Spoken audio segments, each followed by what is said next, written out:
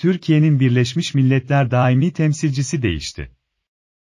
Gelen son dakika haberine göre, Türkiye'nin Birleşmiş Milletler daimi temsilcisi Feridun Sinirlioğlu görevden alındı, yerine Dışişleri Bakan Yardımcısı Sedat Önal atandı. Anlık gelişmeler için lütfen abone olun. Express Haber sundu.